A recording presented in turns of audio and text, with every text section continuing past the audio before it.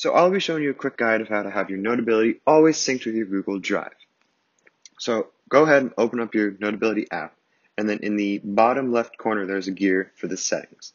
Click on that and a menu will now pop up. Go to Auto Backup, it is at the top of the page, and then from there, Google Drive.